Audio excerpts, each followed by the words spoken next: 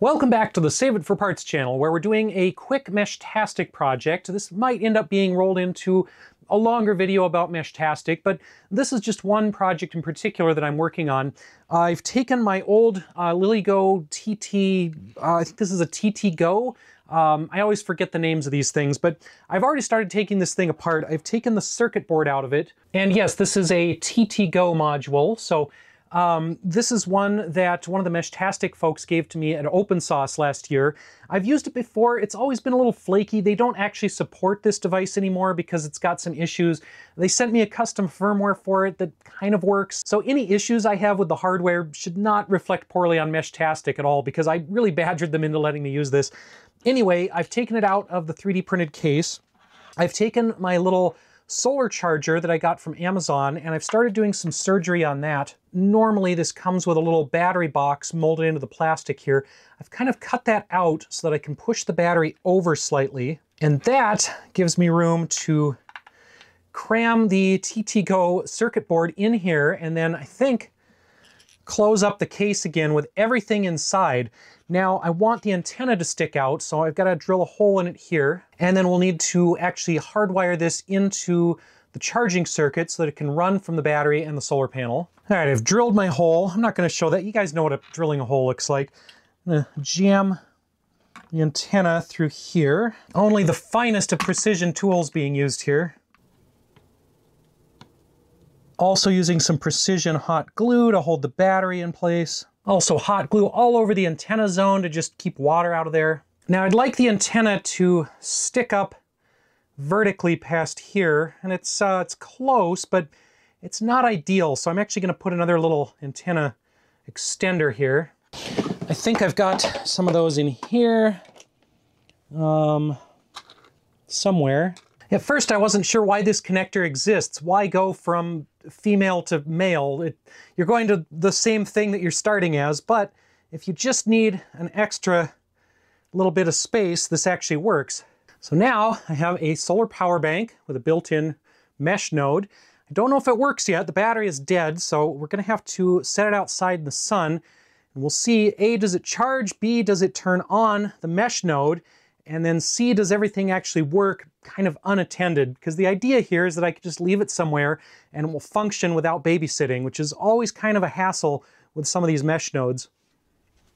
I've been playing around with this thing some more. The little internal battery on here is 3.7 volt, and it's actually outputting around 4 volts, which is probably within the right range. It has about the same voltage on this part here when the solar panel is plugged in, when it's charging. The solar panel itself is actually putting around 6 to 7 volts into the charge controller, so then that's getting stepped down for the battery. Either way, it should be working for this little guy, but this thing just does not want to boot up, so I think there might be something wrong with this, and it has had trouble when I've tried to use it remotely before, so um, I think maybe we gotta throw this in the junk bin and try some other device. So I bought this thing a while back and honestly kind of forgot about it. I meant to put it in one of my CyberDecks or Raspberry Pi Quarter, but let's go ahead and use it for this. It's basically the same form factor. It's just a little um, system on a chip here. So I think it should fit in the same case. It'll use the same antenna connector, the same power connector.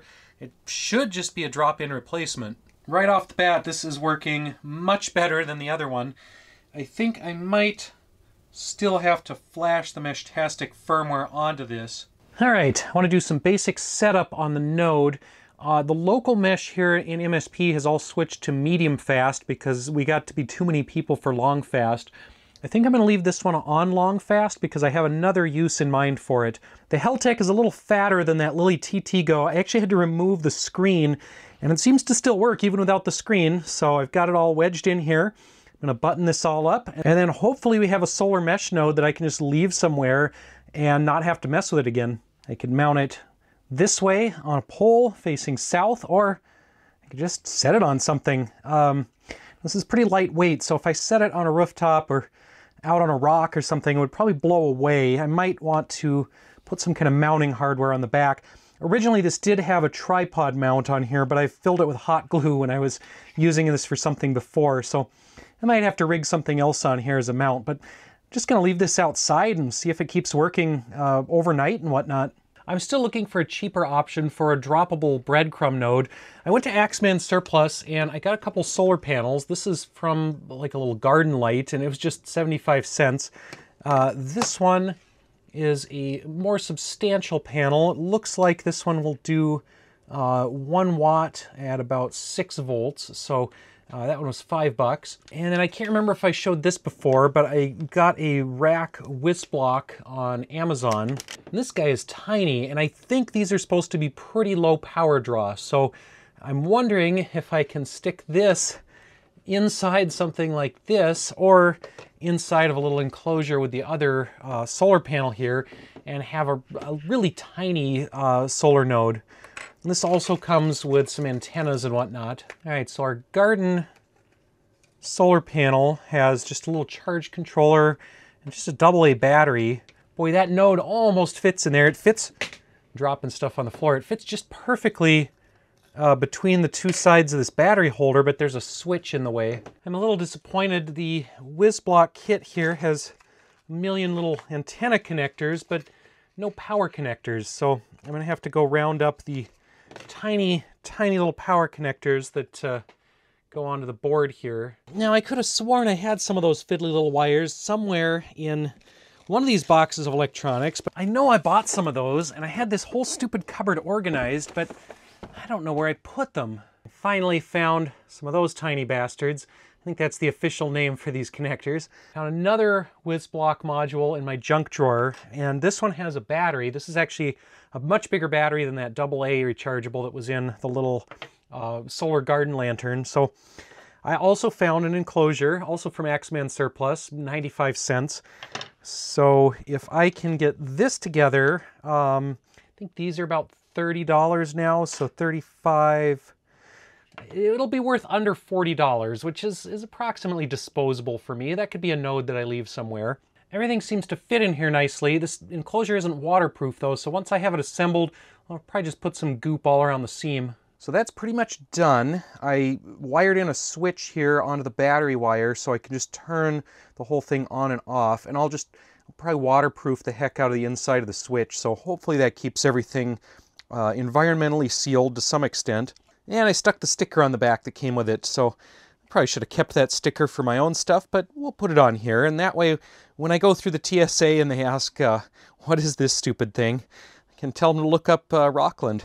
And this isn't the smallest design. I, I was hoping for something like a solar panel that just sits on the enclosure here and makes it really tiny, but this was the panel I found, and I haven't gotten that other solar light one to work yet, so yeah, um, may or may not bring this out somewhere and leave it remotely, but uh, for now let's take it outside and just test it, make sure it stays charged and see if it lasts overnight. I'm still kind of hoping I can fit the whole thing into this uh, solar light fixture, but the little WisBlock node is just a little bit too wide. But I also don't need this like half centimeter of space on this side. So when working with delicate electronics, you should only use the finest and most appropriate tools for the job, like a bench grinder.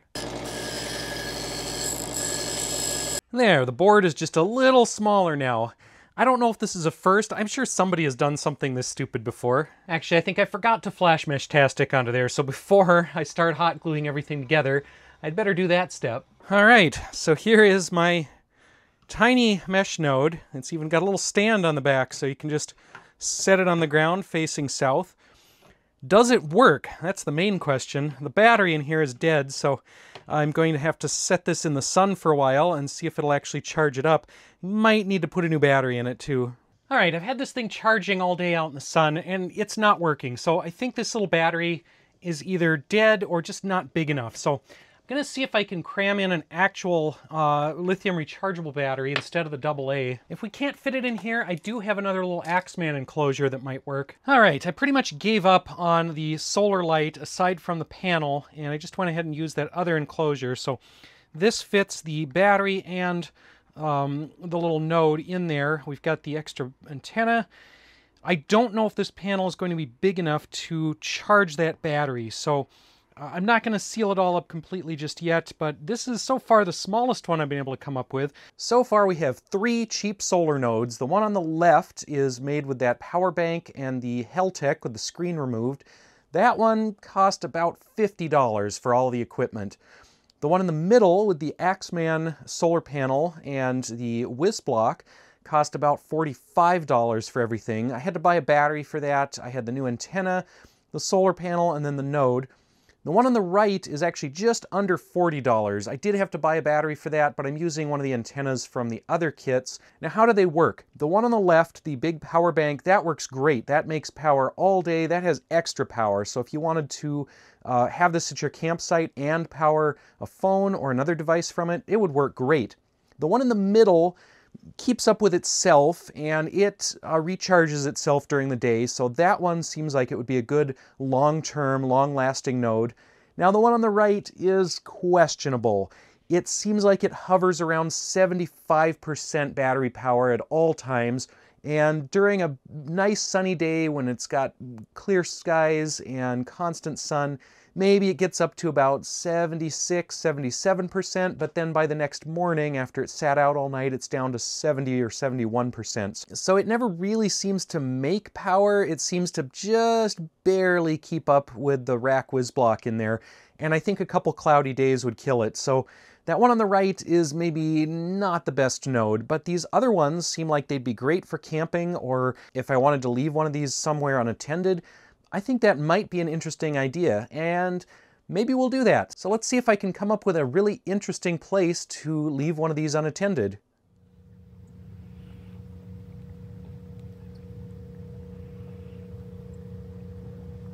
Mesh node is going right here. It's kind of a protected spot in the rocks south facing. It's even angled a little bit towards the sun. So this is going to be the Meshtastic breadcrumb node. And it is being left somewhere, somewhere in southeast Alaska. We've got uh, ocean exposure. Now, if anybody can find this node, you're welcome to have it. You can just keep it. Um, if you come across it, it has no password. And I'm just going to leave it here and we'll see if anybody finds it. We'll see if anybody connects to it. Well, I guess we won't know if anyone connects to it because I'm probably the only other mesh node around. But uh, yeah, this is the off-grid, very off-grid Meshtastic breadcrumb. We've confirmed the node is working with the T-Deck and on Bluetooth, so it should be ready to leave it here on this island. I went ahead and packed a few more rocks around this thing just to keep it in place better in case there's any heavy wind. So I think it's gonna be staying here for a while.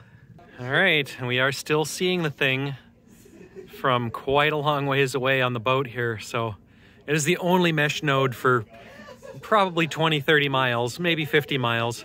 It's the only mesh node for a long way, so it is working though. That's cool.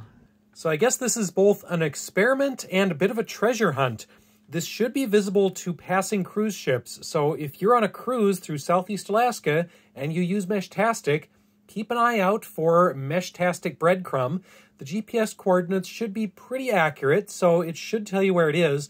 And then if you happen to be visiting the spot where this is located and you find it, well, you're welcome to have the thing. If you have seen this video and you do come across this thing, whether or not you live or have a cabin in the area or whether you're completely new to the area. Either way, I would love to hear about it. So leave me a comment down below or shoot me an email. For everyone else out there, I hope this was kind of an interesting video and maybe gives you some ideas for low-cost, unattended mesh nodes. Thanks to everyone for watching, and we'll see you next time.